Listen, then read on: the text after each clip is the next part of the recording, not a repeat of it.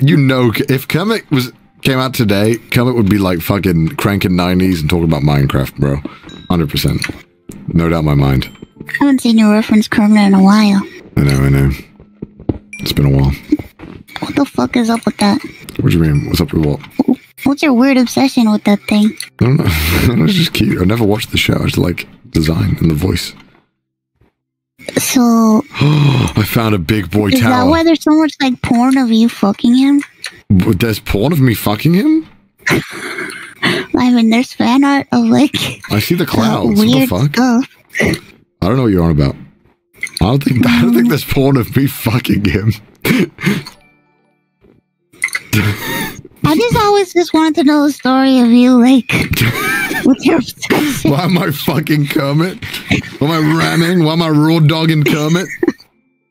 Stop fucking him. Give him the fucking suckatron. Yeah, what? Why take so long? Get up here.